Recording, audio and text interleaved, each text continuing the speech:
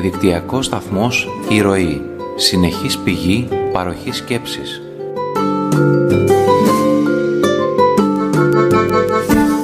Ειδησιογραφία, πολιτικός σχολιασμός, ψυχαγωγία, επιμόρφωση.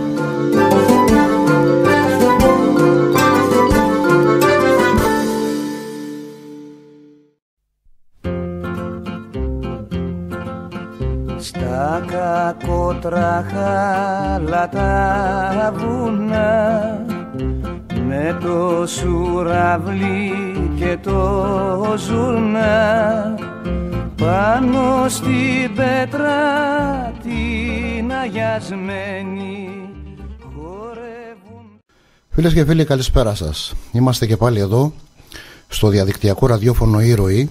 Είναι η εκπομπή Πράσινη Γραμμή μια εκπομπή που όπως έχουμε πει είναι προσανατολισμένη σε ζητήματα γεωπολιτικής και διεθνών εξελίξεων. Συντελεστές της σημερινής εκπομπής είναι ο Κυριάκος ο Κυριακόπουλος από τη Γραμματεία Πολιτικού Σχεδιασμού του ΕΠΑΜ και ο κύριος Λάμπρος Τζούμης, υποστράτηγος εν αποστρατεία και γεωπολιτικός αναλυτής, με τον οποίο θα προσπαθήσουμε όπως κάθε φορά όχι να απαριθμήσουμε γεγονότα, αλλά να προσπαθήσουμε να ανακαλύψουμε τι ακριβώς συμβαίνει πίσω από τα γεγονότα, στις αθέατες πλευρές των τρέχουσων εξελίξεων. Κύριε Τζούμη, καλησπέρα. Καλησπέρα, ευχαριστώ για την πρόσκληση. Να είστε καλά, να είστε καλά. Εμείς χαιρόμαστε που είστε μαζί μας. Οι εξελίξεις βεβαίως είναι πολλές, είναι ενδιαφέρουσες, ενίοτε είναι και αντιφατικές. Πάρα πολλές από τις παραμέτρους που τις συνθέτουν συχνά είναι και μεταβαλλόμενες. Με αυτή την έννοια, είναι δύσκολο ίσως να μιλήσει κανείς για ένα διαμορφωμένο ήδη γεωπολιτικό αποτύπωμα στη διεθνή σκηνή. Οι διεργασίες είναι σε πλήρη εξέλιξη έτσι κι αλλιώς και νομίζω ότι αυτό που μπορούμε να περιγράψουμε είναι τάσεις και δυναμικές και όχι να καταγράψουμε αυτό που λέμε στανταράκια. Δεν ξέρω αν συμφωνείτε με αυτή την εκτίμηση, αλλά νομίζω ότι υπάρχει μια ρευστότητα πρωτοφανής στη διεθνή σκακέρα. Συμφωνώ, συμφωνώ. Είναι εμφανέστατη, είναι εμφανέστατη και. Δεν έχει σταθεροποιηθεί και ακόμη η Αμερικανική πολιτική σκηνή. Ακριβώς, ακριβώς. Ακριβώς. Θα δούμε τι θα προκύψει από Και ίσως από εκεί πρέπει να ξεκινήσουμε, διότι τα τεκτενόμενα στις ΗΠΑ ενδεχομένως μπορούν να εκλαμβάνονται και ως μήτρα γεωπολιτικών εξελίξεων. Αν θέλετε, το σημαντικό γεγονός των προηγούμενων ημερών ήταν η παρέμβαση του Τραμπ στο Κογκρέσο. Ναι, να σας πω ε, Της οποίας να επιχειρήσουμε να δώσουμε ένα στίγμα, να αξιολογήσουμε εν πάση περιπτώσει το τι προέκυψε, γιατί προέκυψε, τι σηματοδοτεί αυτό που προέκυψε, τι μπορεί να περιμένει κανένας. Κοιτάξτε, εγώ νομίζω ότι με την ομιλία που έδωσε προχθές ο Τραμπ στο Κογκρέσο δεν έκανε πίσω από τις εξαγγελίες τις οποίες είχε εξ αρχής από την προεκλογική του εκστρατεία είχε διακηρύξει. Απλά τις παρουσίασε με έναν πιο ορθολογικό και με πιο χαμηλούς τόνους τρόπο. Ε, για το θέμα του ΝΑΤΟ, ας πούμε, που είχε μιλήσει για έναν παροχημένο θεσμό είπε ότι στηρίζει το ΝΑΤΟ και τους ευρωατλαντικούς ε, δεσμούς αλλά εκεί μίλησε ότι και οι σύμμαχοι θα πρέπει να αναλάβουν το κόστος που τους αναλογεί. Δεν είπε δηλαδή κάτι διαφορετικό. Πράγμα το οποίο έχει κατά επανάληψη ε, διατυπώσει έτσι. Και, και έχει διατυπώσει και νομίζω ότι έχει και δίκιο. Ξέρετε ότι από τους ε, ε, συμμάχους οι οποίοι αυτή τη στιγμή ε, είναι μέσα στην Ευρωατλαντική Συμμαχία. Η Ελλάδα είναι ένα από τα κράτη-μέλη τα οποία δίνουν το 2% του ΑΕΠ Νομίζω η δεύτερη για αμυντικές δαπάνες. Ναι. Και μάλιστα προχθές ε, άκουγα τον αντικαγκελάριο εκεί, τον κύριο Γκάμπριελ, ο οποίος λίγο πολύ μας κατηγόρησε ότι δεν έχουμε να δώσουμε συντάξεις και δίνουμε το 2% του ΑΕΠ. Δηλαδή έχει και θράσος. Ε, και γιατί η Γερμανία για να ανταποκριθεί σε αυτό χρειάζεται 25 δις. Αν δεν κάνω λάθος. Η Μέρκελ δεσμεύτηκε ότι θα το κάνει το συγκεκριμένο θέμα.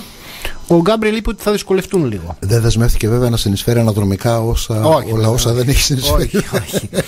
Επίσης, ε, νομίζω ότι και στα άλλα τα θέματα, δηλαδή και για το θέμα του τείχους του Μεξικού, ε, δεν έκανε πίσω. Απλώς μίλησε λίγο πιο έτσι με πιο, χαμηλού, πιο χαμηλούς τόνους και για το θέμα των μεταναστών. Ε, Κοιτάξτε, εγώ νομίζω ότι ο Τραμπ είναι ο παδός του έθνους κράτους και έχει δείξει μέχρι στιγμής ε, κάποια στοιχεία απομονωτισμού. Αλλά αυτό θα το δούμε γιατί ξέρετε, στην Αμερικανική πολιτική σκηνή υπάρχουν δύο σχολές σκέψης.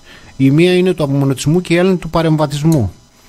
Ε, στο παρελθόν είχαμε δει και προέδρους των Ηνωμένων Πολιτειών οι οποίοι ξεκίνησαν με απομονωτισμό και στη συνέχεια μεταλλάχτηκαν όπως ήταν ο Μπούς στον πόλεμο του Ιράκ. Ε, εγώ θεωρώ ότι η Αμερική ξέρετε είναι μια μεγάλη δύναμη η οποία θα την παρομοιάσω σε ένα υπεροκειάνιο και είναι πολύ δύσκολο ξέρετε να αλλάξει η εξωτερική της πολιτική. Θα το δούμε βέβαια αυτό. Αν θα μπορέσει να γίνει. Δηλαδή η Αμερική είναι ένα τρένο το οποίο κινείται πάνω σε ράγες και πολλές φορές δεν έχει σχέση η εξωτερική της πολιτική με πρόσωπα αλλά έχει σχέση με συμφέροντα. Κατά κανόνα έχει σχέση με συμφέροντα. Κατά και, κανόνα αν, έχεις σχέση. και σε ό,τι αφορά τις πρώτες προτεραιότητες τις οποίες έθεσε ο, ο πρόεδρος Τραμπ γιατί μίλησε ξέρετε για την α, ν- έθεσε σαν προτεραιότητες το Ισλαμ, την, Ισλα- την Ισλαμιστική τρομοκρατία στη συνέχεια μίλησε για την, α, για την Κίνα και το μέτωπο εναντίον του Ιράν και όπως είχαμε δει από τις πρώτες μέρες υπήρχε μια προσέγγιση με τη Ρωσία εγώ θα μου επιτρέψετε εκεί να κρατήσω κάποιες αποστάσεις σε αυτή την προσέγγιση. Περισσότερο πιστεύω ότι έχει σχέση με την αρχή του Διέρ και Βασίλευε. Νομίζω ότι ο Τραμπ φοβάται τυχόν προσέγγιση Κίνας-Ρωσίας η οποία με μια ενδεχόμενη σύμπραξη με την Ινδία θα σήμαινε τον, α, την απώλεια του ελέγχου της Ευρασίας ολόκληρης. Και γι' αυτό ίσως προσπαθεί να την απομακρύνει τη Ρωσία από την, από την αγκαλιά της ε, Κίνας.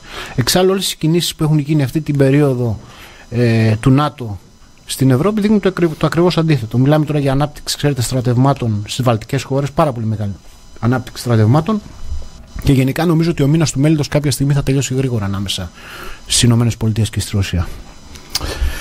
Ο μήνας του μέλητος δεν ξέρω αν έχει αρχίσει για την ακρίβεια, αλλά ωστόσο ε, επειδή ε, εδώ προσπαθούμε να διαβάσουμε πίσω από τα γεγονότα και βεβαίως το γεγονός ε, της αποτύπωσης, αν θέλετε, του περιεχομένου της ομιλίας του Τραμπ είναι κάτι το οποίο δημοσιεύθηκε, το αναπαράγουν όλοι. Ε, εμείς θα πρέπει να επιχειρήσουμε να ανακαλύψουμε πέντε πράγματα στο βαθμό που μπορούμε βεβαίως πίσω από αυτό.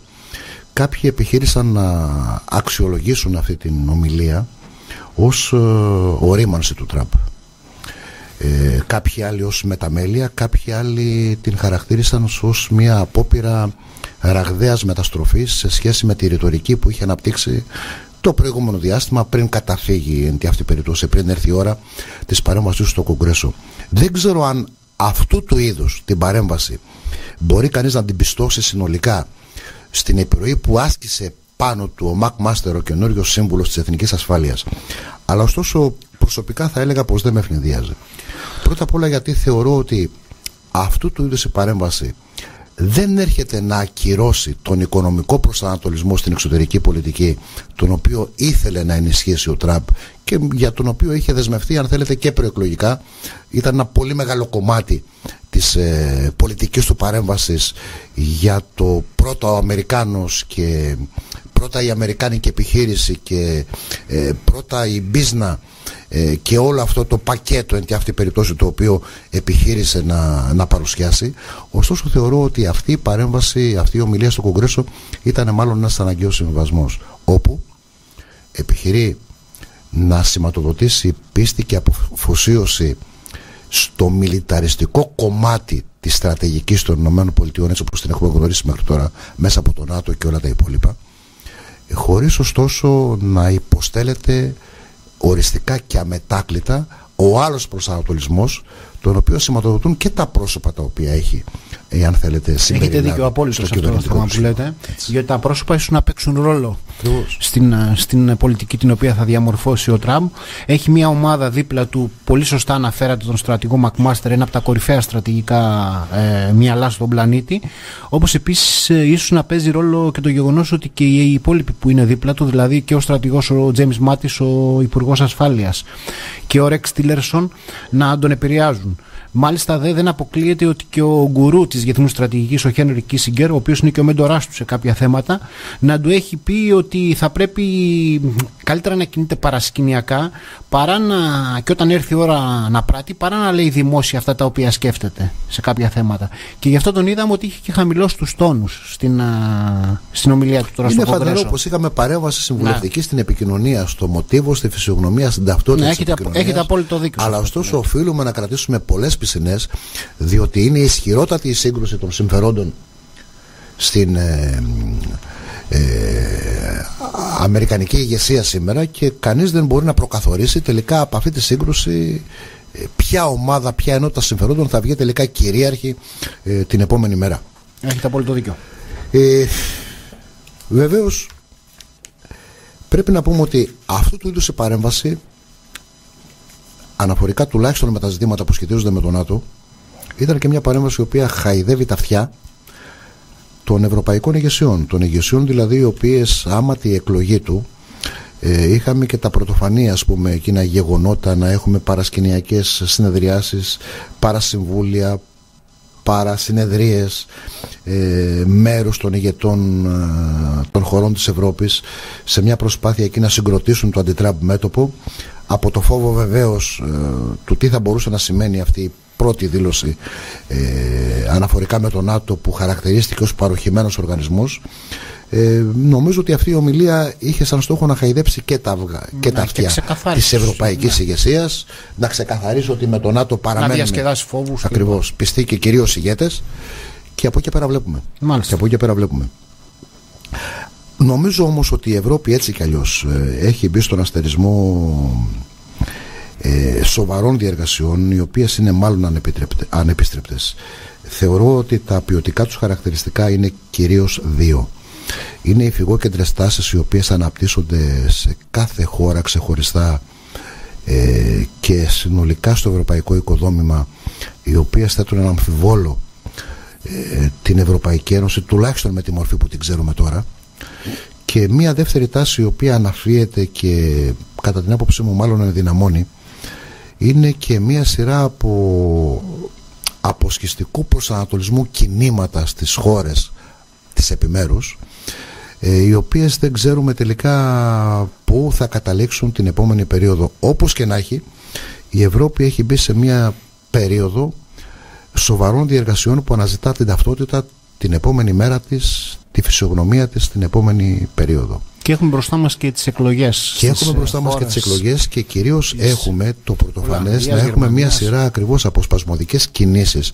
Είναι χαρακτηριστικός ο τρόπος με τον οποίο επιχειρήθηκε να αντιμετωπιστεί ε, ο Φιγιόν και το επιτελείο του όπως και η Λεπέν με το δικό της επιτελείο για πράγματα τα οποία είχαν να κάνουν με το πώς στο παρασκήνιο κινήθηκαν και λειτουργήσαν ε, άτομα του επιτελείου τόσο του Φιγιόν όσο και της Λεπέν τα οποία όλοι τα ξεραν αλλά συμπτωματικά σήμερα αποφαίνεται ότι αυτές οι λογικές που εκπροσωπούνται ή αν θέλετε που εκφράζονται πολύ πιο σχηματοποιημένα μέσα από τη ρητορική του Φιγιόν και της, ε, και της Λεπέν επιχειρείται να αναδειχτούν και να αποτελέσουν πρόβλημα σε μια προσπάθεια ανακοπής αυτής της τάσης που έχουν οι κοινωνίες της Ευρώπης να συσπηρωθούν πίσω από ηγέτες οι, οποίες, οι οποίοι αν θέλετε επιδίδονται, πλειοδοτούν σε αυτό το κλίμα του ευρωσκεπτικισμού που κανείς δεν μπορεί να προδιαγράψει που τελικά θα καταλήξει την επόμενη περίοδο. Έχετε δίκιο και είναι πολύ ρευστό το περιβάλλον και νομίζω ότι έχουμε και εμείς πάρα πολλά εθνικά θέματα ανοιχτά τα οποία μας επηρεάζουν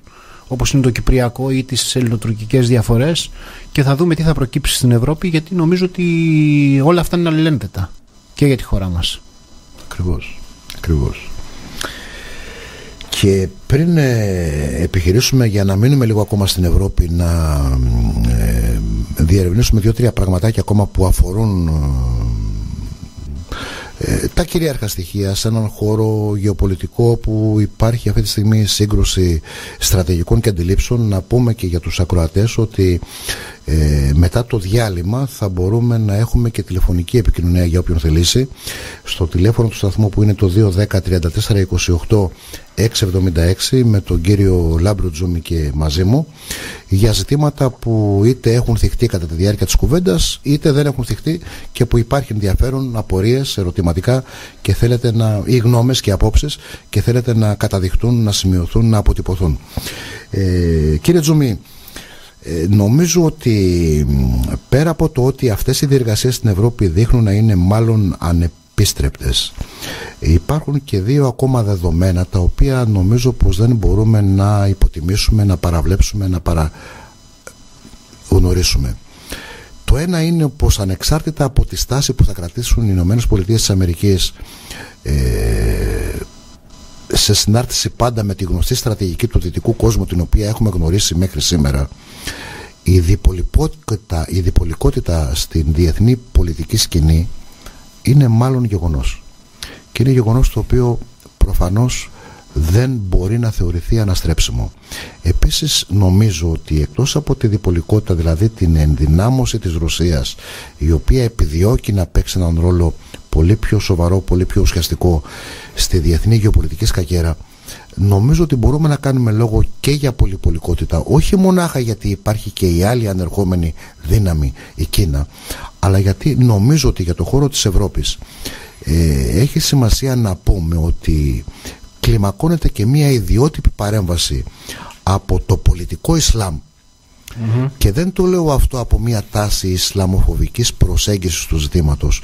Το λέω διότι αν θέλετε με αφορμή και την ελληνοτουρκική διένεξη που ε, έχει γνωρίσει, έχει χτυπήσει κόκκινα αυτή την περίοδο, έχει έρθει στο φως της επικαιρότητας και η γνωστή ιστορία με τις ε, ομάδες εκεί των Περτοριανών που έχει συγκροτήσει ο Ερντογάν από τη γνωστή εταιρεία πολέμου της Αντάτ ε, όπου κατά εκτιμήσεις ε, έγκριτων και έγκυρων αναλυτών ανακύπτει και το εξής ως πιθανή ε, εξέλιξη. Ότι όταν ολοκληρωθούν αυτές οι διεργασίες οι οποίες είναι σε εξέλιξη στην Τουρκία αναφορικά με το δημοψήφισμα που οργανώνει ο Ερντογάν τον Απρίλη και μείνουν άνεργοι εν τη αυτή περίπτωση όλοι αυτοί οι κύριοι οι οποίοι έχουν στρατευτεί σήμερα σε αυτό το πογκρόμ που έχει κηρύξει η Τουρκία, η μισή Τουρκία μάλλον να δει στην άλλη μισή, δεν αποκλείεται αυτές οι οργανωμένες μονάδες, ε, ομάδες να αναζητήσουν διέξοδο σε προβλήματα που θα επιχειρήσουν να εμφυτεύσουν με τον οποιονδήποτε τρόπο και στις ευρωπαϊκές χώρες. Και αυτό συνιστά μία τρίτη δεν ξέρω αν θα μπορούσα να τη χαρακτηρίσω ασύμετρη, ωστόσο ναι, πραγματική ασύμετρη απειλή. Ασύμετρη υβριδική απειλή, ας πούμε. Ναι, ωστόσο πραγματική απειλή, την οποία ναι. ουδής πλέον δικαιούται να παραβλέψει. Ναι, έχετε δίκιο. Εκεί υπάρχει ένας απόστρατος αξιωματικός, ένας ταξίαρχος, ο οποίος ε, αποτελεί το δεξί χέρι του Ερντοάν και σύμφωνα με τις πληροφορίες ε, ετοιμάζει ή έχει κάνει στο παρελθόν διάφορα χτυπήματα. Μάλιστα τελευταία βγήκε ότι και εδώ σε εμάς στο Υπουργείο Εθνικής Άμυνας δέχτηκε μια επίθεση από hacker, 20.000 επιθέσεις ταυτόχρονα χωρίς να γνωρίζουμε βέβαια αν πρόκειται για, αυτό, για αυτούς τη συγκεκριμένη ομάδα ή όχι αλλά έχει πολύ ενδιαφέρον αυτό. Βγει, βγει τώρα τελευταία το συγκεκριμένο θέμα και όπως πολύ σωστά είπατε να δούμε τι θα προκύψει μετά. Επίσης μια και θέσατε το θέμα του, της, του, του Ισλάμ και του πολιτικού Ισλάμ να πούμε ότι εκεί γίνονται μια ε, μια διεργασία το ποιος θα πάρει την πρωτοκαθεδρία στον σουνητικό κόσμο και η Τουρκία προσπαθεί και με το συριακό μέτωπο και να δούμε αν θα μπορέσει να το καταφέρει αυτό γιατί οι αραβικές χώρες δεν νομίζω ότι είναι διατεθειμένες να τις δώσουν αυτή την πρωτοκαθεδρία. Προφανώς δεν είναι, αλλά έχει σημασία εμείς να μείνουμε λίγο στην κουβέντα μας αυτό το ζήτημα, διότι η Τουρκία έτσι καλώ έχει φροντίσει σε επίπεδο, εάν θέλετε, ε, διαχείρισης της στρατηγικής της ε, ατζέντας, να δημιουργήσει το πρόπλασμα ή αν θέλετε να εμφανίσει ως ε, δεδομένο πλέον το Ισλαμικό τόξο στα Βαλκάνια. Αυτή τη στιγμή η Τουρκία ναι. ασκεί συγκεκριμένη γεωπολιτική επιρροή και στη Βοσνία και στην Αλβανία και στα Σκόπια και στο Κόσοβο. Ναι. Επιχειρεί να ε, δημιουργήσει ε, δεδομένο μη αναστρέψιμο και στη Βουλγαρία αλλά αυτό δεν είναι γιατί απλά επιδιώκει ας πούμε να έχει τις δικές της ε, δυνάμεις επιρροής εκεί οι οποίοι απλά θα έχουν έναν λόγο πολιτικό, γεωπολιτικό και ε, εν μέρη και εθνοτικό διότι κατά την άποψή της ε, μπορεί η παρουσία τους να εξυπηρετήσει συγκεκριμένα τμήματα και κατηγορίες του πληθυσμού αλλά διότι όλο αυτό συνδυάζεται από ένα σχέδιο στρατηγικό γιατί η Τουρκία στα πλαίσια της απόπειράς της, της προσπάθειάς της να καταστεί το αυριανό Ιμπέριουμ στην Μέση Ανατολή, βεβαίως και στη Βαλκανική, Όλο αυτό δεν το έχει αφήσει δίκιο.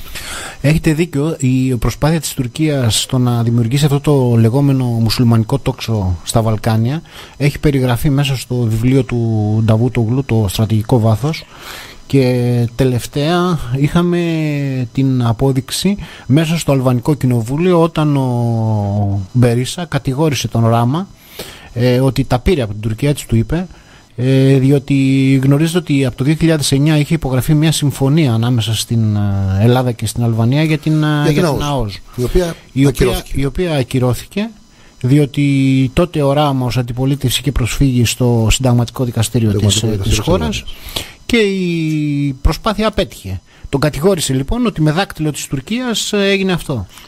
Αλλά οι στόχοι της Τουρκίας δεν, όπως είπατε πολύ σωστά, δεν περιορίζονται μόνο στην Αλβανία, αλλά έχουν σχέση και με τα Σκόπια και με τη Θράκη, που και εκεί έχουμε προβλήματα σημαντικά εμείς. Έχουμε μια ανεξέλεγκτη δράση του τουρκικού προξενείου και ο στόχος της Τουρκίας, έτσι όπως έχει περιγραφεί μέσα στο βιβλίο του Νταβούτογλου, είναι να βρει κάποια νομικά ερίσματα, ώστε όταν της δοθεί η ευκαιρία να έχει το παρεμβατικό δικαίωμα για να μπορεί να προασπίσει όλους τους μουσουλμάνους. Η Τουρκία θέλει να γίνει ηγέτητα δύναμη όλου του μουσουλμανικού κόσμου Και εδώ στην περιοχή μας, πολύ σωστά το εντοπίσατε, γιατί έχουμε τώρα και μια, ένα σκηνικό πολιτικής αβεβαιότητας στα Σκόπια, το οποίο μπορεί να δημιουργήσει μια κρίση στην, στην περιοχή. Μια πολιτική αβεβαιότητα, την οποία βεβαίως θα πρέπει να θυμίσουμε ότι επιχειρήθηκε το προηγούμενο διάστημα να τονωθεί από τις παρεμβάσεις των Αμερικανών αξιωματούχων οι οποίοι δήλωσαν ευθαρσώς ότι τα Σκόπια είναι ένα κατά κρατήδιο το οποίο το μοναδικό πράγμα το οποίο οφείλει να κάνει είναι να αυτοδιαλυθεί ας πουμε και να προσαρτηθεί το μισό στη Βοσνία ναι, αυτό... και το υπόλοιπο στη Βουλγαρία τους κατηγόρησαν και για αυτό το θέμα ακριβώς, ε, ακριβώς. ξέρετε εκεί ε, το πρόβλημα υπάρχει γιατί δεν μπορεί να σχηματίσει η κυβέρνηση ο Γκρουέσκι. Έτσι.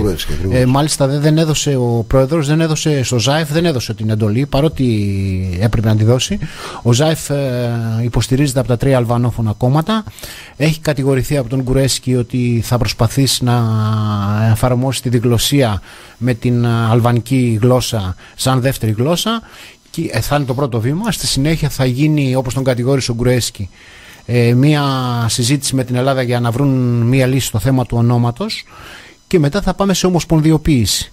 Και εκεί έχουν παρέμβει διάφορες δυνάμεις, μεταξύ των οποίων όπως πολύ σωστά αναφέρατε και ο πρέσβης των, ε, των Ηνωμένων Πολιτειών, ο οποίος έχει παρέμβει υπέρ του ΖΑΕΦ.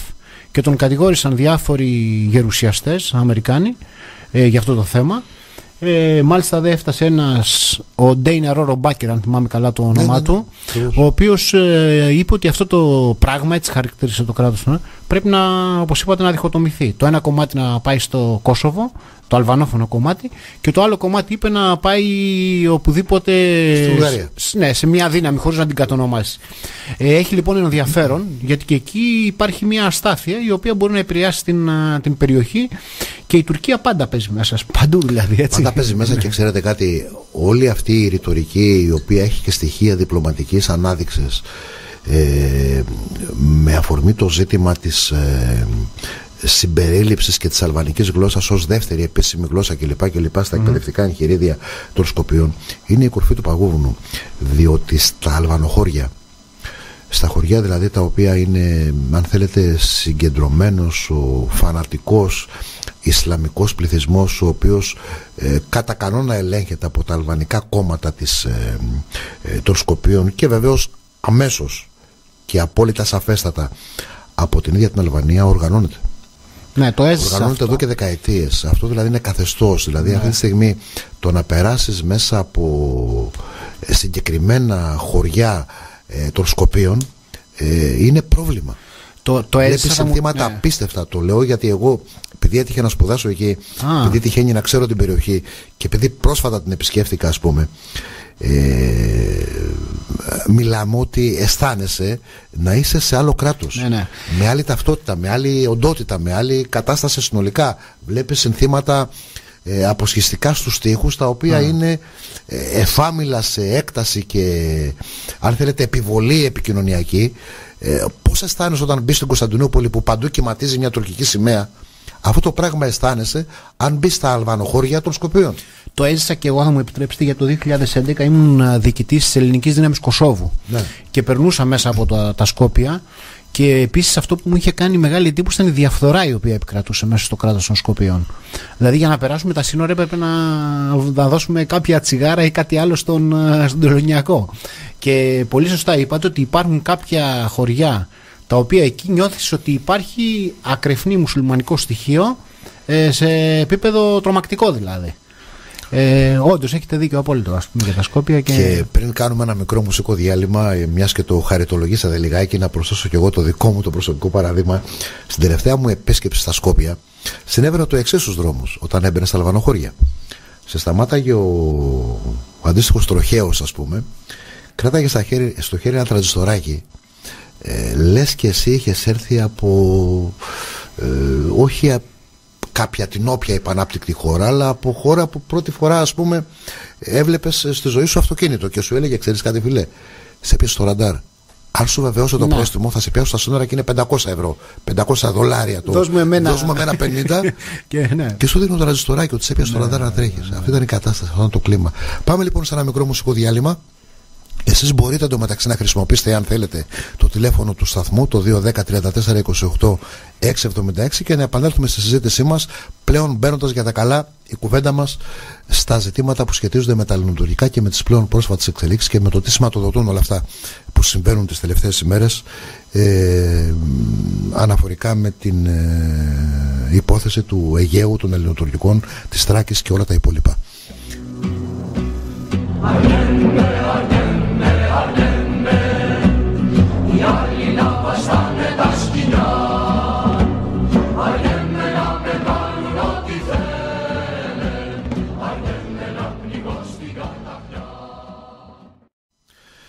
Επιστρέψαμε λοιπόν εδώ φίλοι και φίλοι στο διαδικτυακό σταθμό Ηρωή και στην εκπομπή Πράσινη Γραμμή είναι ο Κυριάκος ο Κυριακόπουλος στο μικρόφωνο από τη Γραμματεία Πολιτικού Σχεδιασμού του ΕΠΑΜ και μαζί μου είναι ο κύριος Λάμπρος Τζούμης, ε, υποστράτηγος στην αποστρατεία και πολιτικός γεωπολιτικός αναλυτής.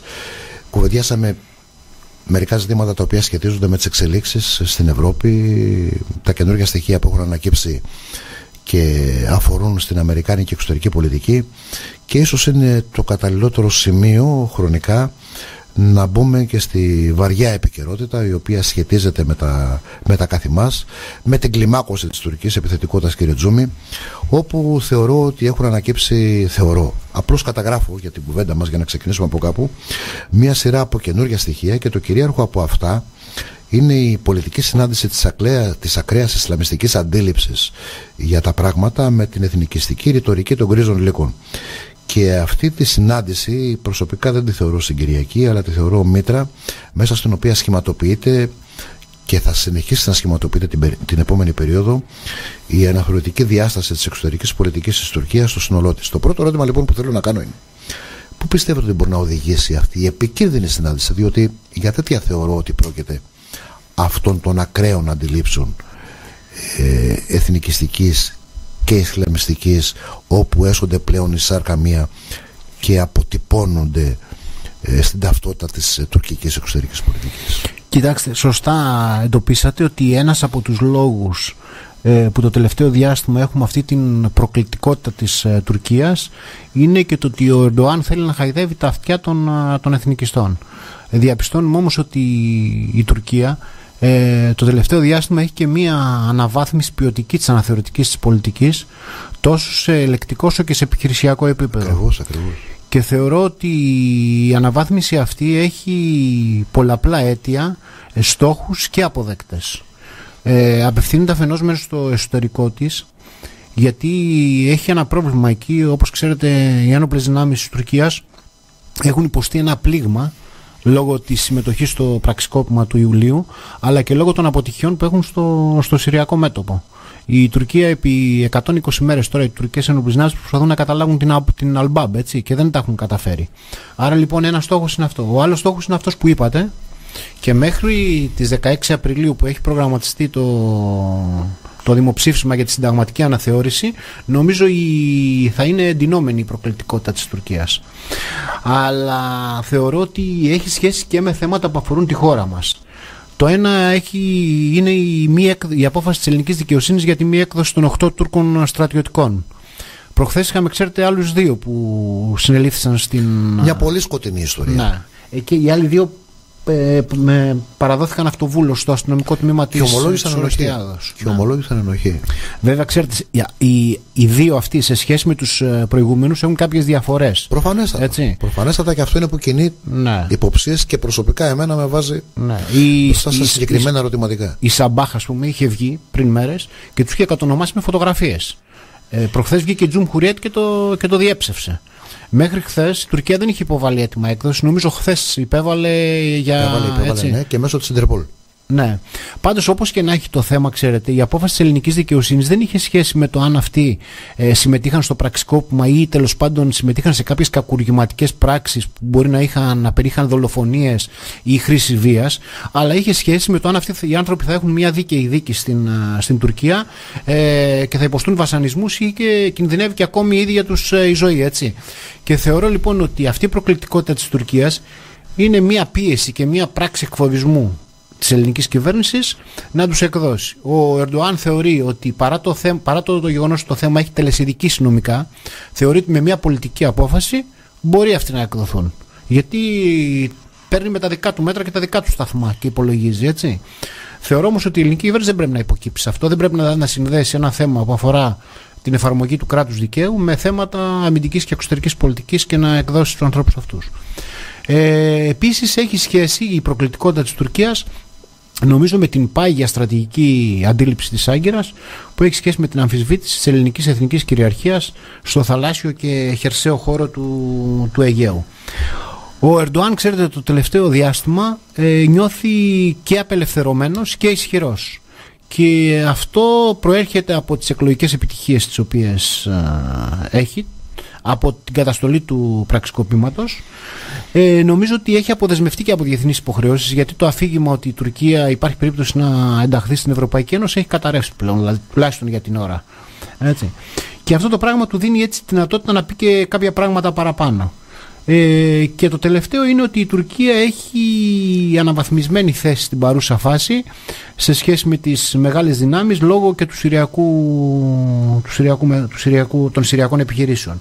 Πάντως αυτή η εντυνόμενη προκλητικότητα είναι ανησυχητική γιατί όπως είπαμε νωρίτερα έχει σχέση και με τον αλβανικό μεγαλοειδεατισμό που τον βλέπουμε καθημερινά και με σοβαρά εθνικά θέματα τα οποία έχουμε σε εξέλιξη όπως είναι το Κυπριακό και με το θέμα της Θράκης που όπως είπαμε εκεί υπάρχει ένα προξενείο το οποίο δράνε εξέλεγκτα αλλά και με ένα όπλο σημαντικό το οποίο το έχει η Τουρκία στα χέρια της και ακούει το όνομα προσφυγικό μεταναστευτικό το οποίο, το οποίο της, της τρόφιγγα ξέρετε μπορεί να την ανοίγει και να την κλείνει όποτε θέλει. Αυτή τη στιγμή ας πούμε στα νησιά υπάρχουν 18.000 άνθρωποι εγκλωβισμένοι πάνω στα νησιά και η δυνατότητα φιλοξενίας είναι 7.000. Ε, δεν φταίει μόνο η Ελλάδα γι' αυτό φταίνε και οι Ευρωπαίοι. Έτσι. Γιατί ο, αυτοί οι εμπειρογνώμονες οι οποίοι πρέπει να είναι πάνω να βοηθάνε στην χορήγηση ασύλου, ο αριθμός τους δεν είναι εκείνος ο οποίος έπρεπε να είναι. Τέλος πάντων, είναι ένα θέμα αυτή η τουρκική προκλητικότητα η οποία θέλει προσοχή και θα δούμε που θα οδηγήσει. Γιατί πρέπει να είμαστε ιδιαίτερα επιφυλακτικοί το επόμενο δίμηνο τουλάχιστον.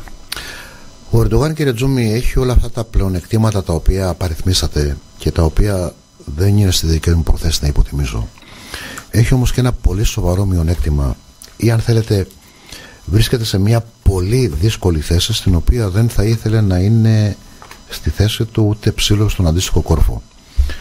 Ο Ερντογάν αυτή τη στιγμή έχει σηκώσει πάρα πολύ ψηλά την ατζέντα της γεωστρατηγικής στην Τουρκία όπου ξέρει πάρα πολύ καλά ότι αν την επόμενη περίοδο δεν καταγράψει όπως το λέω εθνική νίκη και αν δεν μπορέσει να παρουσιάσει ως εθνική νίκη ένα προϊόν που θα είναι αποτέλεσμα της ε, ανεβασμένης του ρητορικής, ξέρει πάρα πολύ καλά ότι αργά ή γρήγορα θα έχει την τύχη του Μεντερές. Έχετε δίκιο απόλυτο. Και ο Μεντερές ξέρετε πάρα πολύ καλά ποια τύχη ε, το ξέρουν και οι ακροατές. Επομένως ο Ερντογάν διαχειρίζεται ζητήματα που αν θέλετε σχετίζονται με την πάγια εξωτερική πολιτική της Τουρκίας έχοντας σε αυτά συμπεριλάβει και ένα προσωπικό στίχημα επόμενης μέρας που αφορά την ίδια του την υπόσταση και αυτό είναι το ένα στοιχείο. Το δεύτερο στοιχείο έχει να κάνει με το ότι όλη αυτή την περίοδο όπου έχουμε την κλιμάκωση αυτής της επιθετικής ρητορικής που δεν είναι μονάχα ρητορική είναι και επιχειρησιακή κλιμάκωση η Ελλάδα κατά την άποψή μου προσέγγισε το όλο ζήτημα κάνοντας δύο θεμελιακά λάθη. Από τη μία ακούμπησε όλη αυτή την κλιμάκωση στην ανάγκη του Ερντογάν να παρουσιάσει κάτι για εσωτερική κατανάλωση και με αποδέκτη την τουρκική κοινή γνώμη και εφησυχάστηκε ας μου επιτραπεί ο όρος ε, πίσω από αυτό και ο δεύτερο, το δεύτερο λάθος είναι ότι επιχείρησε να ερμηνεύσει την κλιμάκωση αυτής της ρητορικής στο τελευταίο διάστημα ως αποτέλεσμα του τρόπου με τον οποίο διαχειρίστηκε η ελληνική δικαιοσύνη το πρόβλημα των 8 προσφύγων. Ναι, έχετε δίκιο, αλλά. Θα έλεγα λοιπόν ότι αν δεν υπήρχαν αυτά, ναι. προφανώς ήταν, είχαν το δικό τους ειδικό βάρος, λειτουργήσαν ως άλοθη, ως αφορμή. Δυστυχώς πολλές φορές τροφοκαμιλίζουμε, ξέρετε, κύριε Γιάκομπλε. Η αιτία είναι μια επεξεργασμένη στρατηγική Σωστό, που αυτή τη στιγμή είναι κατάλληλος για πολλούς λόγους που μπορούμε να κουβεντιάσουμε σε συνέχεια. Γεωπολιτικός χρόνος να ξεδιπλωθεί αυτή η στρατηγικη και όταν ερμηνεύεις με έναν συγκεκριμένο και κατά την άποψή μου μεροληπτικό τρόπο την κλιμάκωση από μια χώρα η οποία επιβουλεύεται τη δική σου εδαφική και εθνική ε, κυριότητα με έναν τρόπο όταν ερμηνεύεις με αυτόν τον τρόπο την κλιμάκωσή της αντιλαμβάνεσαι ότι υποτάσσεις στον τρόπο με τον οποίο την ερμηνεύεις και τον τρόπο με τον οποίο εσύ απαντάς και αντιδράς. Να.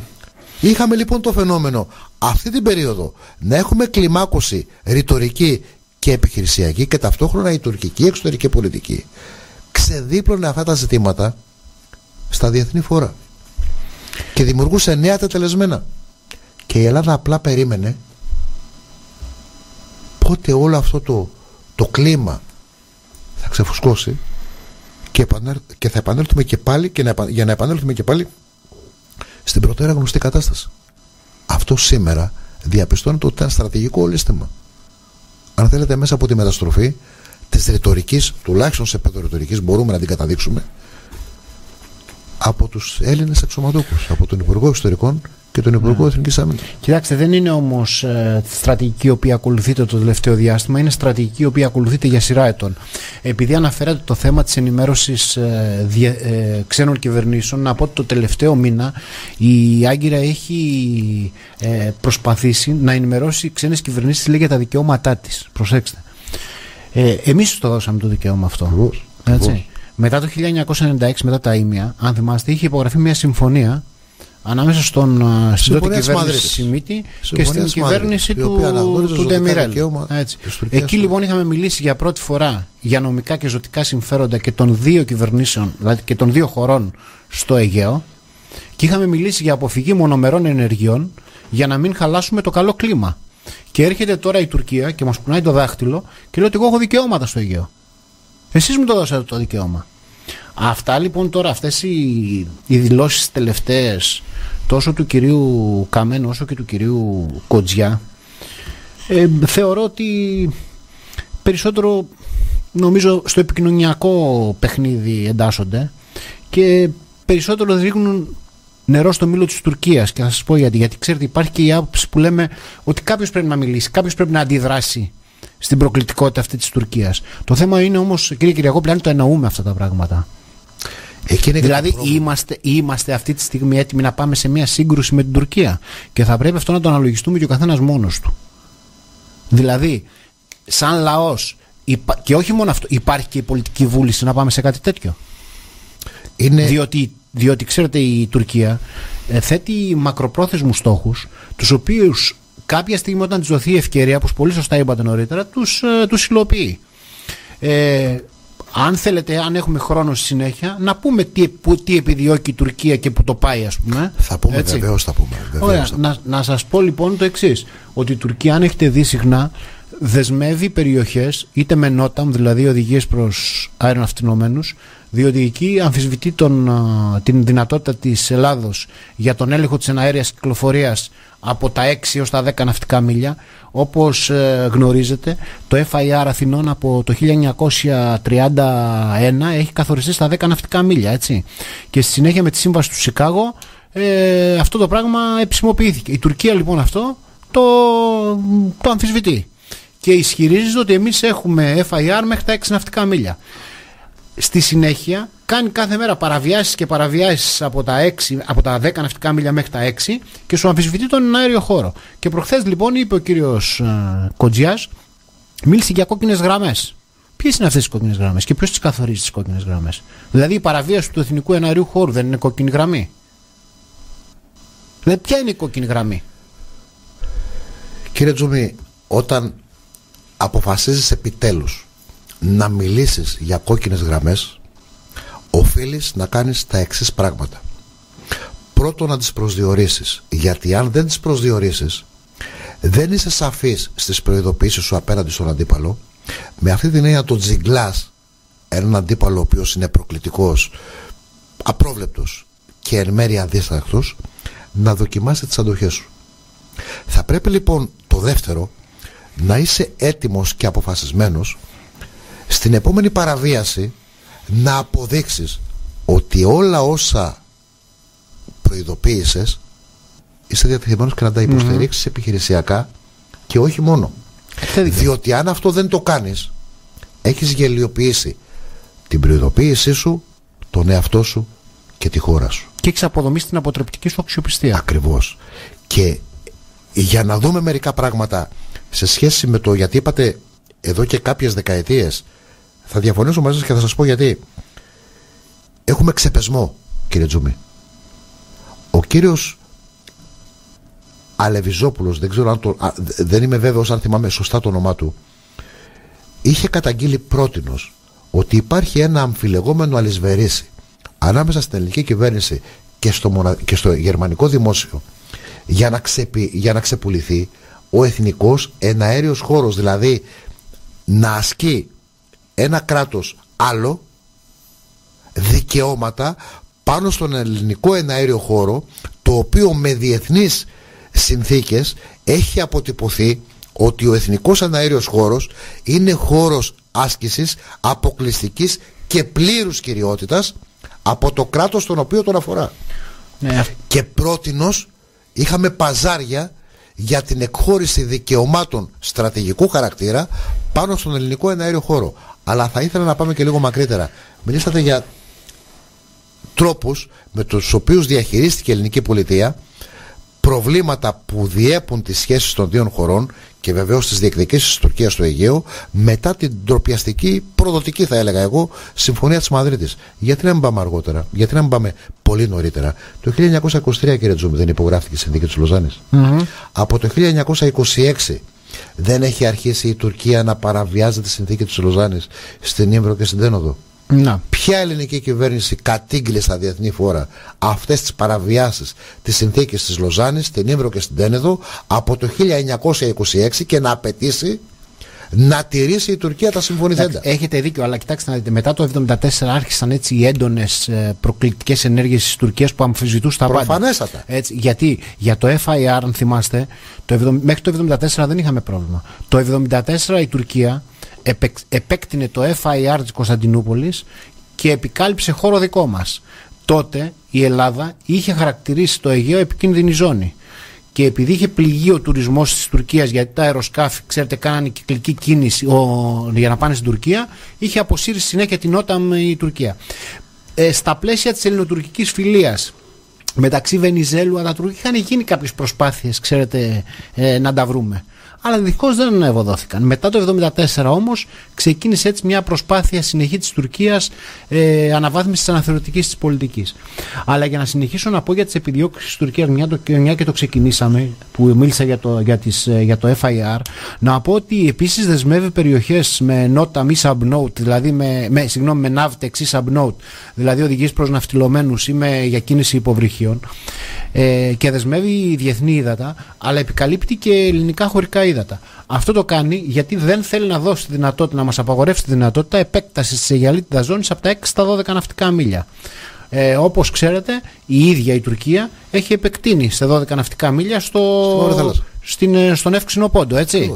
Λοιπόν, τι κάνει λοιπόν τώρα; Ε, προσπαθεί λοιπόν να κόψει το δικαίωμα της Ελλάδος αυτό και ταυτόχρονα το τελευταίο διάστημα, την τελευταία διετία, έχει αρχίσει ένα νέο αφήγημα από τους Τούρκους που μιλάνε για κατεχόμενα νησιά. Το είπε προχθές και ο Μπαχτσελή, ο ηγέτης των Γκρίζων Λύκων. Ακριβώς. Στην αναφορά του που έκανε στην επίσκεψη του αρχηγού του Γενικού Επιτελείου Και μάλιστα έκανε και επέκταση του διεθνούς δικαίου. Ναι. Διότι με βάση τον τρόπο με τον οποίο ερμηνεύουν αυτή το διεθνές δίκαιο, mm. θεωρεί ότι υπάρχουν νησιά και νησίδες στο Αιγαίο τα οποία είναι κατεχόμενα από την Ελλάδα. Και ε, αρχίζει να αναδεικνύεται μια ρητορική αλυτρωτισμού να πάρουμε πίσω τα κατεχόμενα. Αυτό ξέρετε γιατί γίνεται. Γιατί αυτά τα νησιά στα οποία αναφέρονται είναι 18 συγκεκριμένα. Είναι νησιά τα οποία είναι ή κατοικημένα με λίγους κατοίκους, ή υπάρχουν πάνω στρατιωτικά τμήματα, στρατιωτικές δυνάμεις, ή υπάρχουν έργα υποδομής. Και έχει σημασία τα έργα υποδομής γιατί όπου υπάρχει οικονομική ζώνη, η οικονομική ζωή υπάρχει και ΑΟΖ. Αυτά τα νησιά εντάσσονται μέσα στην καινοφανή θεωρία αυτή των ε, γκρίζων ζωνών, την οποία η Τουρκία είχε αρχίσει να την εμφανίζει από τα μέσα της δεκαετίας του 1990 και την έθεσε σε εφαρμογή με την κατάληψη της Δυτικής ε, Ήμια το 1996. Αυτοί λοιπόν τι ισχυρίζονται, ότι τα νησιά αυτά δεν συμπεριλαμβάνονται δεν ονομάζονται, δεν αναφέρονται ονομαστικά μέσα στις τρεις συνθήκες που παραχωρήθηκαν τα νησιά αυτά στην Ελλάδα. Δηλαδή τη συνθήκη της Λοζάνης του 1923, τη συνθήκη των Παρισίων του 1947 για τα Δωδεκάνησα και τη, του Λονδίνου. Μοντρέ. Και, το Μοντρέ, γιατί και το Μοντρέ εμπλέκεται. Το Μοντρέ εμπλέκεται για την αποστρατικοποίηση. Α, έτσι, Ωραία. Και, τη, και του Λονδίνου για την Κρήτη το 1913. Τα νησιά αυτά, εάν δούμε, έχουν τεράστια γεωστρατηγική σημασία. Ε, ε, δεν, δεν αφορούν μόνο νησιά τα οποία απέχουν πολύ μικρή απόσταση από τα μικρασιατικά παράλια όπως είναι οι Νούσες ή το Φαρμακονήσι ή η Αρκή ή η Θήμενα που τα αμφισβητεί. Αλλά υπάρχουν και νησιά τα οποία βρίσκονται στο κέντρο του Αιγαίου. Δηλαδή αμφισβητεί τα Αντίψαρα τα οποία είναι δυτικά της Χίου. Ή αμφισβητεί δύο βράχους που ονομάζονται Καλόγυροι που είναι βορειοανατολικά της Άνδρου. Είναι στο κέντρο του Αιγαίου ακριβώς Όλα αυτά, αν δούμε τα νησιά, όπως επίσης και πιο κάτω, ανάμεσα στις Κυκλάδες και στα Δωδεκάνησα, είναι οι Κίναρος που χαθήκανε πέρυσι στα παλικάρια του, του πολεμικού μας ναυτικού. Αν δούμε λοιπόν όλα αυτά τα νησιά, θα δείτε ότι τα αυτά που είναι στο κέντρο δηλαδή, του Αιγαίου, ότι εντάσσονται πάνω σε μια νοητή γραμμή, η οποία συμπίπτει με τον 25ο μεσημβρινό. Ο 25ο μεσημβρινός είναι μια γραμμή η οποία ξεκινάει από τις εκβολές του, ναι, από τις εκβολές του Νέστου, περνάνε πάνω από τη Λίμνο, κατεβαίνει στην Τίνο και φτάνει μέχρι την, ε, την Κρήτη. Διχοτομούν δηλαδή το Αιγαίο στη μέση. Η Τουρκία λοιπόν θέλει σε πρώτη φάση συνδιαχείριση και συνεκμετάλλευση του, του Αιγαίου. Σημαίνει δηλαδή αλληλεία, έρευνα, διάσωση. Εξάλλου με την έρευνα διάσωση το έχει κάνει. Έχει επεκτείνει τα όρια της έρευνας διάσωσης στο κέντρο του Αιγαίου. Το ένα λοιπόν είναι αυτό. Το άλλο αμφισβητεί νησιά τα οποία βρίσκονται νότια της Κρήτης. Όπως είναι η Γάβδος και η Γαβδοπούλα. Αυτό σε συνδυασμό με μια άλλη ευαίσθητη περιοχή που είναι στο Καστελόριζο. Εκεί ξέρετε ενώνονται οι ΑΟΖ Ελλάδας, και Κύπρου. Ελλάδας, Κύπρου και Αιγύπτου. Εάν δεχθούμε ότι το Καστελόριζο όπως ισχυρίζεται η Τουρκία δεν έχει υφαλοκρηπίδα γιατί η Τουρκία εκεί το νησιωτικό σύμπλεγμα του Καστελορίζου ξέρετε είναι 14 νησάκια απέχουν 72 ναυτικά μίλια από την, από την Ρόδο και είναι στο 1,5 μίλια από, την, από τις μικρασιατικές ακτές. Εκεί λοιπόν η Τουρκία ισχυρίζεται ότι αυτά τα νησιά ε, διέπονται από ένα ειδικό καθεστώς των αποκομμένων νησιών και κάθονται πάνω στη δικιά της την υφαλοκρηπίδα και δεν έχουν. Αυτό, εάν το, αν το δεχτούμε αυτό το πράγμα, σημαίνει αυτόματο ότι αμφισβητείται όλη η ΑΟΣ στην Νοτιοανατολική Μεσόγειο. Που εκεί ξέρετε υπάρχει τεράστιος ενεργειακός πλούτος, έχουν βρει από θέματα υδρογονανθράκων, ε, φυσικού αερίου και των ιδρυτών. Οι ιδρύτες είναι ένα, ένα, νέο, ε, ένα νέο, είναι μόρια μεθανίου σε κρυσταλλική μορφή. Και, και το ενδιαφέρον είναι ότι ένα κυβικό μέτρο ιδρύτη όταν βγει στην επιφάνεια, ξέρετε, γίνεται ως το μέγεθος μιας πολυκατοικίας. Θέλει λοιπόν να μπει στο ενεργειακό παιχνίδι. Το ένα λοιπόν η συνδιαχείριση του Αιγαίου που είπαμε και το άλλο είναι το ενεργειακό παιχνίδι εκεί. Εμείς λοιπόν τις έχουμε δώσει δυστυχώς τη δυνατότητα, όπως είπαμε, με κάποιες ενέργειες και με, το, με κατευναστικές συμπεριφορές η Τουρκία να φτάσει σε αυτό το σημείο και να μας κουνάει το δάχτυλο και να μας διεκδικεί και να λέει ότι θα μας πάει σε διεθνή φόρα κλπ. Αλλά σε ό,τι αφορά ε, αν τελικά, γιατί το πρώτο ερώτημα που θέσατε, αν, πού θα καταλήξει αυτό το πράγμα, ε, κοιτάξτε, εγώ θεωρώ ότι δεν υπάρχει περίπτωση να πάμε σε μια γενικευμένη σύραξη με την Τουρκία. Γιατί και η ίδια νομίζω δεν την εξυπηρετεί κάτι τέτοιο και δεν θα το επιτρέψουν διεθνείς δρόντες. Δεν θα ήθελαν δηλαδή μια αιστεία ανάφλεξη ακόμα σε μια περιοχή που ήδη είναι, υπάρχει αναταραχή. Αλλά ένα επιτρέψτε μου να πω πάντως, επιτρέψτε μου ναι. να πω πάντως ότι αυτό είναι το λιγότερο διότι ε, τη γενικευμένη ανάφλεξη προφανώς δεν τη θέλει κανείς και προφανώς δεν τη θέλει και η Τουρκία διότι όλοι ξέρουν ότι η γενικευμένη ανάφλεξη με υπεσορευμένα και ισχυρά οπλικά συστήματα σε έναν μικρό χωροταξικά χώρο όπως είναι αυτός του Αιγαίου η καταστροφή η οποία θα αποφέρει είναι πολλαπλάσια των δυνάμεων που θα εμπλακούν ακόμα και του χρόνου τον οποίο θα διαρκέσει η γενικευμένη ανάφλεξη. Η Τουρκία ωστόσο πρέπει να πούμε γιατί έχει σημασία αυτό να αναδεικνύεται πίσω από οποιαδήποτε κίνηση κάνει έχει στρατηγική στόχευση. Σωστό. Αυτή τη στιγμή λοιπόν είτε δια της μεθόδου του γκριζάρου χώρους είτε με ένα μεμονωμένο θερμό επεισόδιο αν καταφέρει να σε οδηγήσει στο τραπέζι των διαπραγματεύσεων με νταβατζίδες, με επικυρίαρχους και προστάτες αυτό που παζαρεύεις δεν είναι το μέλλον της Κωνσταντινούπολης δεν είναι το μέλλον της Άγκυρας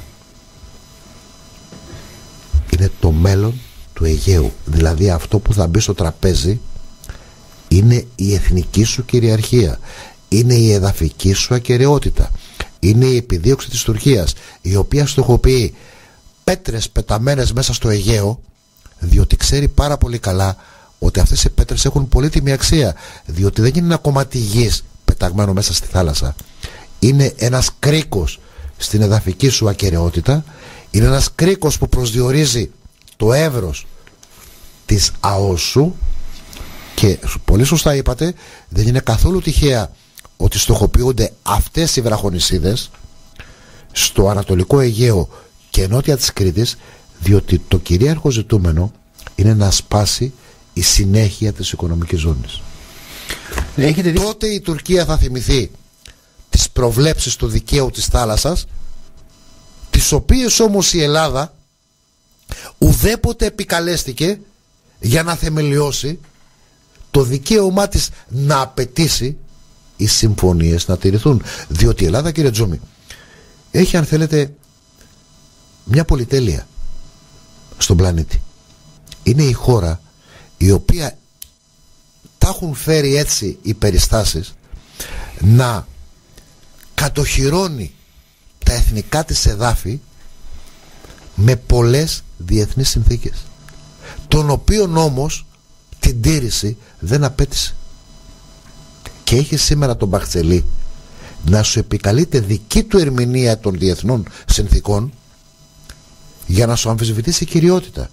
Όταν όμως αυτό στο διπλωματικό επίπεδο το ανοίγει η Τουρκία και εσύ αυτό δεν το απαντάς η φυσική συνέπεια να δημιουργήσει ένα παράλληλο δίκαιο το οποίο λειτουργεί παρατύπως αλλά ισχυρό κατά την αντίληψη όλων αυτών διότι ο αναθεωρητισμός στις διεθνείς συνθήκες είναι σήμερα κυρίαρχη αντίληψη και στην Ευρώπη την επικροτεί και η Αμερική για δικούς σου στρατηγικούς λόγους ο καθένας αποδέχονται λοιπόν αυτό το παράλληλο δίκαιο και αύριο εσύ θα πρέπει να αποδείξεις ότι δεν είσαι ελέφαντας διότι σήμερα περιμένεις ελπίζοντας ότι θα έρθει ο Απρίλης θα τελειώσει το δημοψήφισμα θα λύσει τους λογαριασμούς με το λαό του ο Ερντογάν δεν νομίζω και θα τα τελειώσει. πράγματα δεν θα... θα τελειώσει. Προφανώς όχι.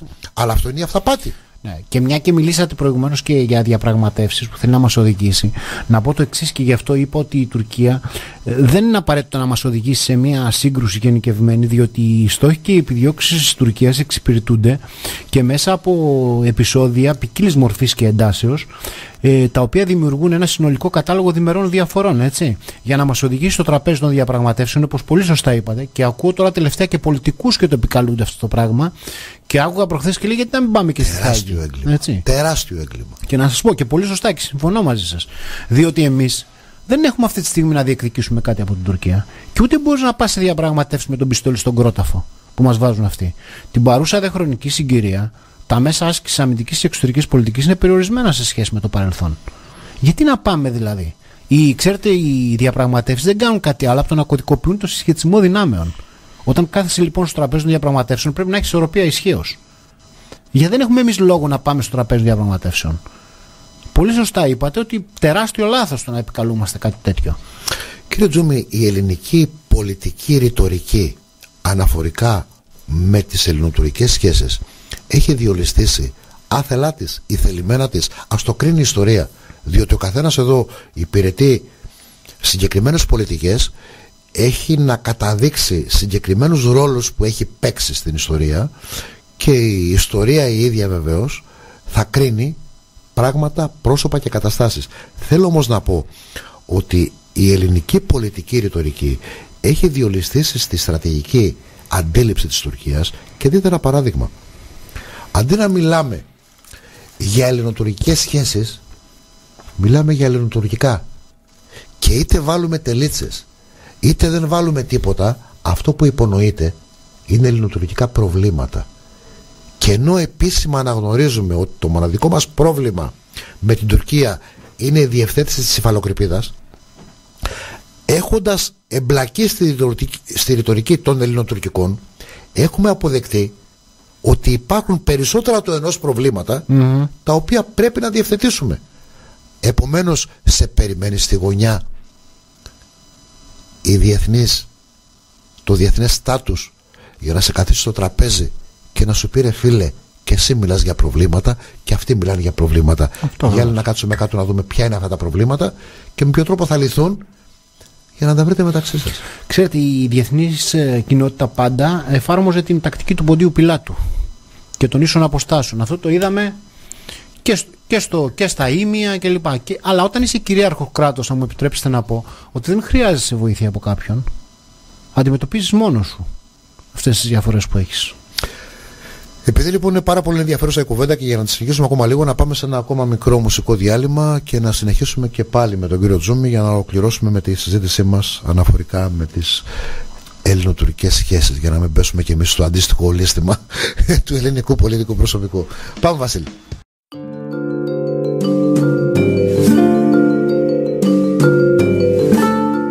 Διαδικτυακό σταθμός Η Ροή. Συνεχής πηγή παροχής σκέψης.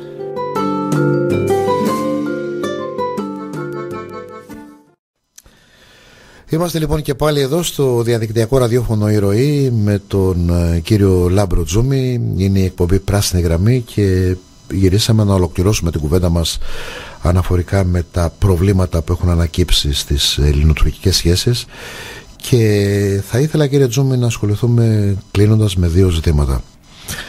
Ε, ε, από τη στιγμή που κάναμε μια σειρά από διαπιστώσεις νομίζω εύστοχες και μ, αρκετά ενδιαφέρουσες για το καθεστώς το οποίο διέπει όλη αυτή την κατάσταση. Το ένα ζήτημα κατά την άποψή μου έχει να κάνει με το τι πρέπει να κάνουμε. Ποια πρέπει να είναι η απάντηση της Ελλάδας. Και να το δούμε αυτό σε συνάρτηση. Διότι για μένα υπάρχει ένα θέμα.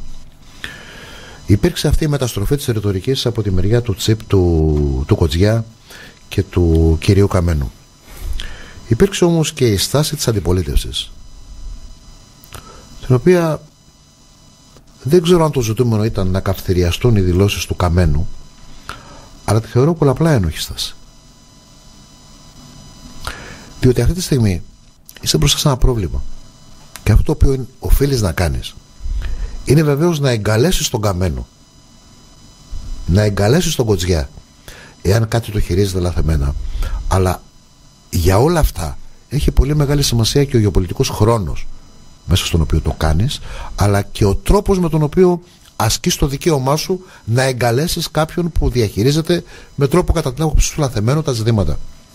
Αυτά δεν τα κάνεις δημόσια διότι όταν τα κάνεις δημόσια και δεν αναδεικνύεις τα πραγματικά προβλήματα και εκεί όπου έχεις αναδείξει κατ' επανάληψη και διαχρονικά ολιγορία στη διαχείριση αυτών των ζητημάτων πας σε περίοδο έξαρσης ενός προβλήματος να απαξιώσεις ένα πολιτικό στέλεχος και ταυτόχρονα συγκαλύψεις διαχρονικές ευθύνες για πράγματα που όφιλες να κάνεις και δεν έκανες. Θέλω λοιπόν να δούμε ως ένα ζήτημα το ποια κατά τη γνώμη σας θα πρέπει να είναι η απάντηση στον τρόπο διαχείρισης από τη μεριά του ελληνικού προσωπικού, του ελληνικού πολιτικού προσωπικού αυτών των προκλήσεων που κλιμακώνονται σε συνάρτηση πάντα με τον τρόπο με τον οποίο διαχειρίζεται και επικοινωνιακά το πολιτικό σύστημα στο σύνολό του αυτές τις προκλήσεις με αποδέκτη εμάς, τα τουρκικά επιτελεία, τον Ισλαμοπαράφρονα Ερντογάν, ποιον από όλους, είναι ένα ζήτημα. Κοιτάξτε, να ξεκινήσω από αυτή την κριτική που κάνατε τόσο στην, ε, στις, ε, στις, στους δύο κυβερνητικούς εταίρους αλλά και στην αντιπολίτευση. Εγώ να αντιστρέψω το ερώτημα και να σας πω, ε, θέλουμε αυτή τη στιγμή την κλιμάκωση με την Τουρκία. Εγώ νομίζω δεν, δεν, μας είναι, δεν, δεν, δεν την επιδιώκουμε, ούτε πρέπει να την επιδιώκουμε την κλιμάκωση για τους λόγους που είπα νωρίτερα. Γιατί δεν είμαστε στην καλύτερη κατάσταση λόγω της δημοσιονομικής κρίσης και θεωρώ δηλαδή ότι ε, μ, ρίχνουμε νερό στο μήλο της Τουρκίας. Τέλος πάντων, να μπω σε αυτό στο ερώτημά σας, αυτό που είπατε. Επί χρόνια τώρα έχουμε ακολουθήσει τον κατευνασμό και την υποχωρητικότητα. Αυτό έχει αποδειχθεί ότι ενθαρρύνει την ε, τουρκική αδιαλαξία και πολλές φορές, ξέρετε, όταν εφαρμόζεις τον κατευνασμό, ο κατευνασμός είναι μια στρατηγική την οποία μπορεί να την εφαρμόσεις μόνο βραχυχρόνια, γιατί οδηγεί και στον πόλεμο. Ε, εδώ προσπαθούμε δηλαδή με γενεοδορία να καταπραίνουμε ένα θηρίο προκειμένου την Τουρκία το οποίο αποδεικνύει ότι φέρνει τα αντίθετα αποτελέσματα αυτή την γενοδορία που του, ρίχνουμε, που του δείχνουμε εμείς. Να σας πω όμως το εξής και νομίζω ότι θα είναι χρήσιμο. Από το 2007 μέχρι το 2016, δηλαδή μέσα σε 9 χρόνια, είχαμε 15.000 παραβιάσεις παραβάσεις του εθνικού εναρίου χώρου. Ξέρετε πότε είχαμε μηδενικές παραβάσεις; Το 1996. Γιατί, διότι τότε είχε, είχε πέσει ένα τουρκικό αεροπλάνο, το οποίο οι Τούρκοι το θεωρήσαν ως κατάρρευση. Έτσι. Προς Θεού, δεν θέλω να πω και μέτρησαν το τίμημα. Έτσι, ναι. Προς Θεού, δεν θέλω να πω ότι θα πρέπει να πάμε σε μια σύγκρουση με την Τουρκία, έτσι. Αλλά απαιτείται μια διαφορετική στρατηγική στην αντιμετώπιση του αναθεωρητισμού της γείτονας χώρας. Θα πρέπει να το σκεφτούμε αυτό το πράγμα. Και αυτό που απαιτείται στο ερώτημα που θέσατε είναι τα εξής. Πρώτον, είναι η πολιτική βούληση, η οποία πρέπει να, να πούμε ότι είμαστε έτοιμοι να πάμε σε μια σύγκρουση. Και θα πρέπει να το αντιληφθούμε και να, να το περάσουμε και στην κοινή γνώμη αυτό το πράγμα.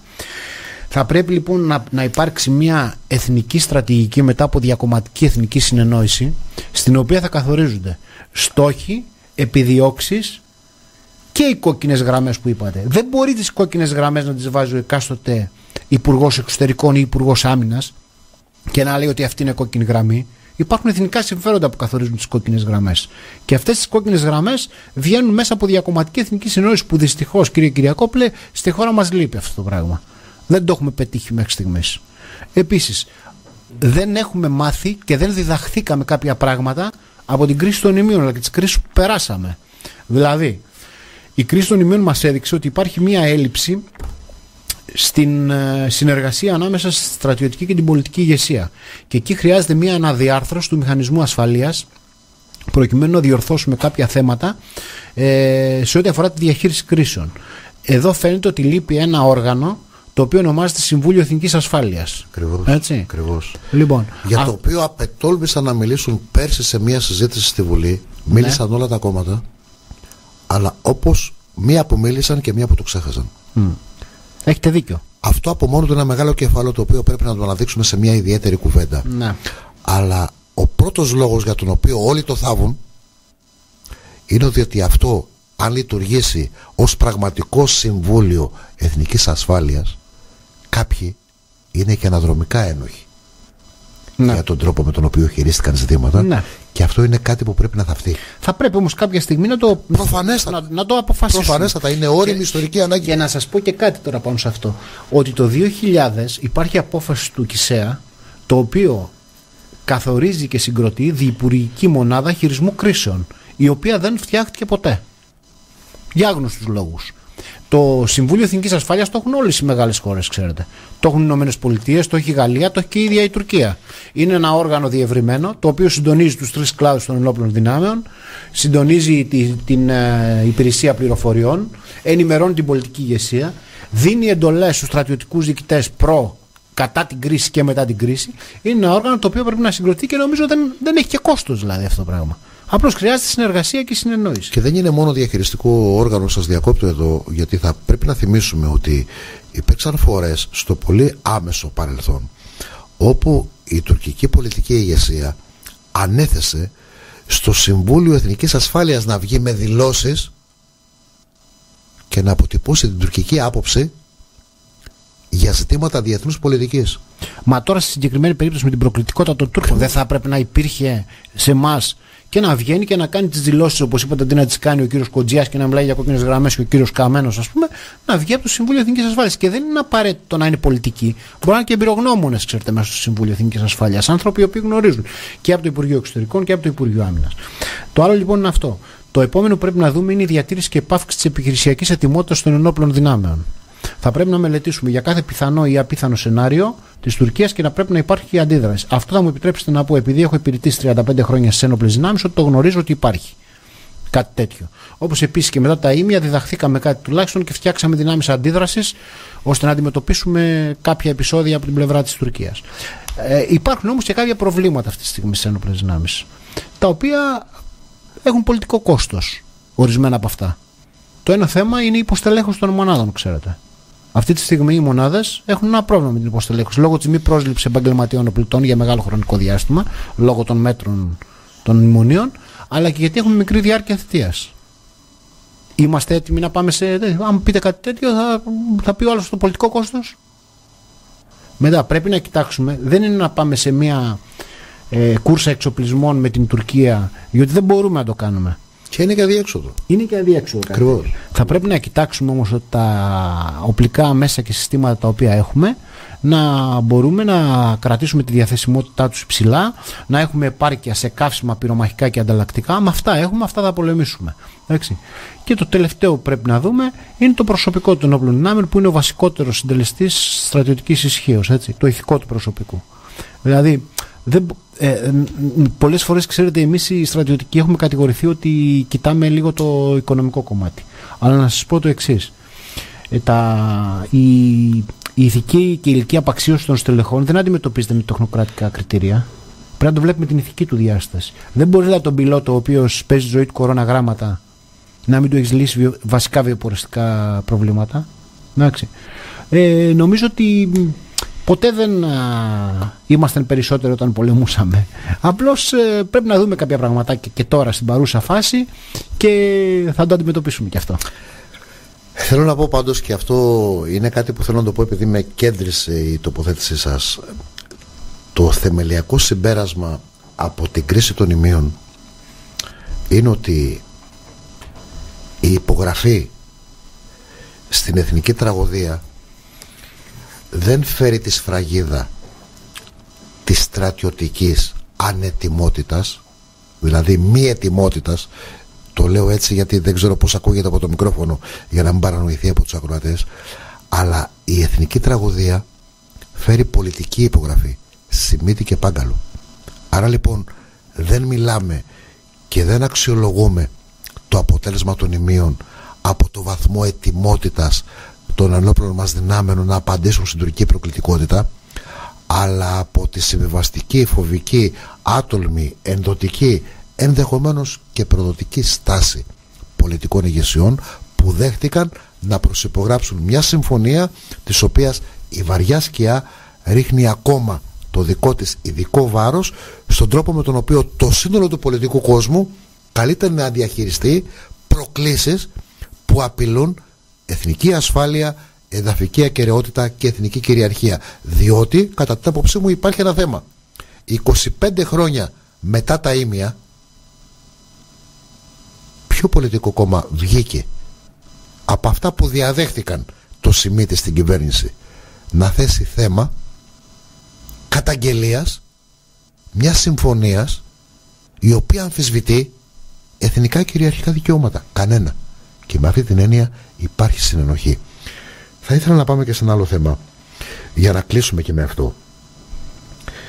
Ε, η ανάγκη για σύνεση και περισυλλογή κατά τη διαδικασία λήψης των αποφάσεων θεωρώ πως είναι δεδομένη. Και εδώ δεν κουβεντιάζουμε με συναισθήματα ε, πολεμοχαρών ανθρώπων ας πούμε, ε, κουβεντιάζουμε μια πραγματικότητα την οποία προσπαθούμε να τα διαχειριστούμε επικοινωνιακά και να τα αναλύσουμε για να δείξουμε στοιχεία που τις συνθέτουν και να γίνουν κατανοητά στους ακροατές. Δεν είμαστε πολεμοχαρίες, δεν είμαστε πολεμοκάπηλοι, δεν είμαστε τίποτα από όλα τούτα. Θέλω όμως να πω το εξής ότι ο τρόπος με τον οποίο προσεγγίζεις ακόμα και τις αδυναμίες σου είναι μια εσωτερική υπόθεση δική σου. Όταν αυτό γίνεται στα μικρόφωνα, στα Twitter, στα facebook και δεν ξέρω εγώ πού άλλο γίνεται από το πολιτικό μας προσωπικό ο πρώτος αποδέκτης αυτής της επιφυλακτικότητας είναι ο ίδιος ο αντίπαλος. Αυτό λοιπόν το οποίο θέλω να θίξουμε ως τελευταίο θέμα στη σημερινή μας συζήτηση είναι αυτό το ιδιότυπο κλίμα της ε, ιστερίας εγκράτειας γιατί υπάρχει μια ιστερία εγκράτειας η οποία και πολιτικοί την ενισχύουν και τα ΜΜΕ την υπεραναδεικνύουν σε μια εποχή μάλιστα που τα τουρκικά ΜΜΕ πλειοδοτούν υπέρ της τουρκικής προκλητικότητας και υπερθεματίζουν. Και εδώ έχεις δημοσιογράφους, μέσα μαζικής ενημέρωσης και πολιτικούς να σου λένε αυτό. Μα τώρα που είμαστε έτσι, αυτό οφείλεις να το ξέρεις αλλά δεν οφείλει να το ομολογείς διότι αν μου πεις κύριε Τζούμι μου ότι τώρα που είμαι έτσι τι θες να μου κάνεις; Εγώ που είμαι κακοπροαίρετος ιστερόβουλος και αντίπαλος μαζί σου σου κάνω τα πάντα τώρα που είσαι έτσι. Εντάξει, ε, ξέρετε και στην Τουρκία όμως, και στην Τουρκία ακούγονται τέτοια πράγματα έτσι, και μεταξύ τους δηλαδή δεν είναι πάντα τα πράγματα ότι βγαίνουν. Προφανώς. Έτσι, Αλλά βγει- εμείς οφείλουμε Ναι. να κρίνουμε αυτό Ε, το οποίο. π- Πάντως μια και θέσατε τώρα το θέμα των ΜΟΜΕ δεν πρέπει να ξεχνάμε ότι ακόμη και για την κλιμάκωση της κρίσης των ημείων τα μέσα μαζικής ενημέρωσης και διάφοροι εξωθερμικοί παράγοντες παίξανε ρόλο στην κλιμάκωση της κρίσης έτσι. Αυτό το πρωτοφανές πράγμα. Ναι. Να παρουσιάζουμε την αναχώρηση, Την αναχώρηση του το- στόλου του από το- ας πούμε, ως ωραία. φαντασμαγορικό Ναι. υπερθέαμα για όλο τον Και, πλανήτη. και έκτοτε δεν έχει καθοριστεί κάποιο πλαίσιο λειτουργίας των ΜΜΕ. Να πούμε δηλαδή ότι πρέπει να λειτουργούν με τον συγκεκριμένο τρόπο. Δεν ξέρω αν αυτό το πράγμα που είπατε μπορεί κάποιος να το ελέγξει ή τέλος πάντων είναι θεσμικά σωστό στο να λέμε τι θα πρέπει να λένε τα μέσα μαζικής ενημέρωσης. Δεν ξέρω αν, κατα- αν κατάλαβα καλά την τοποθέτησή σας. Δηλαδή ότι η το, να, τοποθέτηση- το, η- το να η- βγει κάποιος η από τα μέσα τοποθέτηση- μαζική. Δεν μπορεί δεν μπορείς να ελέγξεις τα, τα μέσα Η μαζικής τοποθέτησή μου για να την ενημέρωσης. αποσαφηνίσω ήταν ότι η κυρίαρχη λογική δεν πρέπει να είναι ούτε στη σφαίρα της πολεμοκαπηλείας ούτε όμως να πλειοδοτεί και σε ητοπάθεια σε ενδοτισμό και σε ατολμία το οποίο κατά τα λοιπά βαφτίζεται σύνδεση και περισυλλογή. Διότι είναι εύκολο πράγμα να χαρακτηρίζεις και να δώσεις ένα όνομα που θα έχει ελάχιστη σχέση με την αλήθεια. Του τρόπου με τον οποίο διαχειρίζεσαι πολι- πολιτικά προβλήματα και γεωπολιτικές προκλήσεις είναι πάρα πολύ εύκολο πράγμα να το κάνεις αλλά οφείλεις να έχεις επίγνωση κάθε στιγμή του απόϊχου που δημιουργείς από τον τρόπο με τον οποίο διαχειρίζεσαι δημόσια αυτά τα ζητήματα. Λέω για παράδειγμα, προφανώς δεν είναι θέμα της πολιτικής ηγεσίας να αφημώσει και προς Θεού μακριά από μένα η πρόθεση της φήμωσης των μέσων μαζικής ενημέρωσης αλλά σε περίοδους κρίσης αυτό που θέσατε και που είμαι και εγώ αν θέλετε ένθερμος οπαδός της ανάγκης συγκρότησης του ένα Συμβούλιο Εθνικής Ασφάλειας δεν θα είχε λόγο για το τι προβάλλεται σε ό,τι αφορά το επιχειρησιακό κομμάτι και το επικοινωνιακό κομμάτι μέσα σε συνθήκες όξυνσης της κρίσης. Δηλαδή για παράδειγμα εσείς που έχετε στρατιωτική εμπειρία την οποία εγώ δεν έχω αυτό το χάλι το 96 με τον τρόπο με τον οποίο παρουσιάστηκε η αναχώρηση του στόλου από τον άσταθμο έχει προηγούμενο. Όχι, πουθενά. Δεν θα έπρεπε Διεθνώς. κάποιος να πει ρε παιδιά, τι είναι αυτά που κάνετε; Διότι εδώ πρακτικά λειτουργείς ως Ρουφιάνος. Δεν κάνεις ρεπορτάζ. Ξέρετε, τα μέσα, Δεν μαζικής- καλύπτεις γεγονότα. Ε, τα μέσα μαζικής ενημέρωσης πολλές φορές πυροβάλλουν πάνω στην προσπάθειά τους για Αυτό ακροαματικότητες. δεν είναι ενημέρωση όμως. Ναι, δεν είναι ενημέρωση. Αυτό είναι business.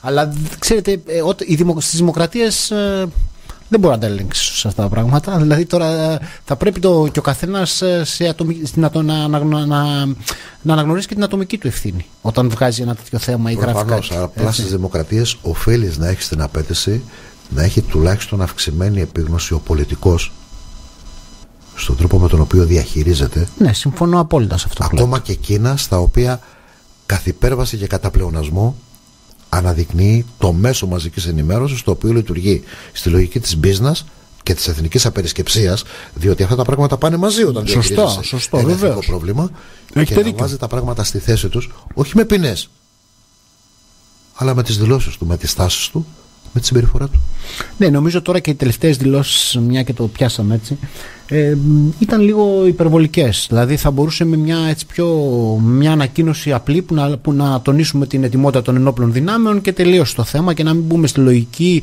ε, του τσαμπουκά, του προσωπικού, προσωπικής επίθεσης, με βερμπαλισμούς, με μεγαλοστομίες, να προσπαθήσουμε δηλαδή να, να δείξουμε ότι εμείς είμαστε τέλος πάντων... Είμαι ο πρώτος που το είπα γιατί είπα ότι όταν τολμάς να κάνεις αυτό πρέπει να είσαι έτοιμος για το επόμενο βήμα γιατί Σωστό. το επόμενο βήμα θα είναι πρόκληση. Αν δεν είσαι έτοιμος να το υπηρετήσεις έχεις γελιοποιήσει και την πολιτική σου δήλωση. Αποδομήσει Αλλά την εγώ πολιτική σου αξιοπιστία. ως Κυριακόπουλος δικαιούμαι να το κάνω. Εσείς ως Τζούμης δικαιούστε να το κάνετε. Ο πολιτικός όμως είναι ένα θέμα. Αν δικαιούται στο όνομα της δημοκρατίας της απέραντης Όχι, όχι, δεν μιλάω για τους πολιτικούς. να εγώ μιλάω αυτοϋπονομεύεται για τα και να μέσα μαζικής αυτοεγκλωβίζεται. ενημέρωσης, Ναι, ναι, έτσι. συμφωνώ μαζί σας απλώς, Έτσι, το απλώς- αναδεικνύω ως Ναι, θέμα, ναι, κατάλαβα. διότι ανακύπτει και κατά καιρούς το βρίσκουμε μπροστά μας καμιά φορά και με τρόπο οδυνηρό.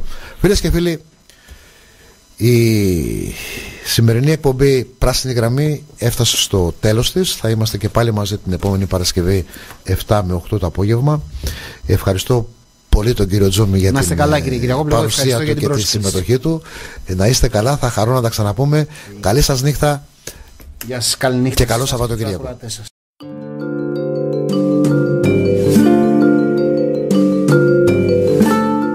Διαδικτυακό σταθμός «Η Συνεχής πηγή παροχής σκέψης.